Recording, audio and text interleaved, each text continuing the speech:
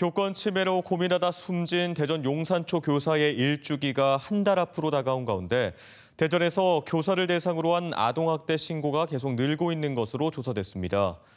대전 교사 노조에 따르면 교사 상대 아동학대 신고는 지난 2021년 7건에 이어 2022년 14건, 2023년 11건, 올해 상반기에 19건으로 계속 늘고 있습니다.